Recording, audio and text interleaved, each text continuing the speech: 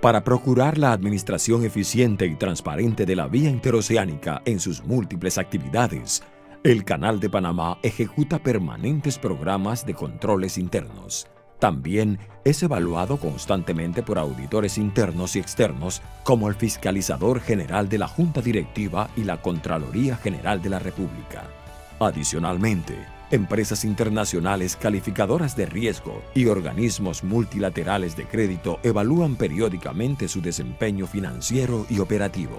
Desde el año 2007, el Canal de Panamá se ha presentado a más de 80 comparecencias ante el Pleno o comisiones de la Asamblea Nacional para sustentar su presupuesto, rendir cuentas sobre sus operaciones o sobre la construcción del canal ampliado. Canal de Panamá. Nos encantan los retos.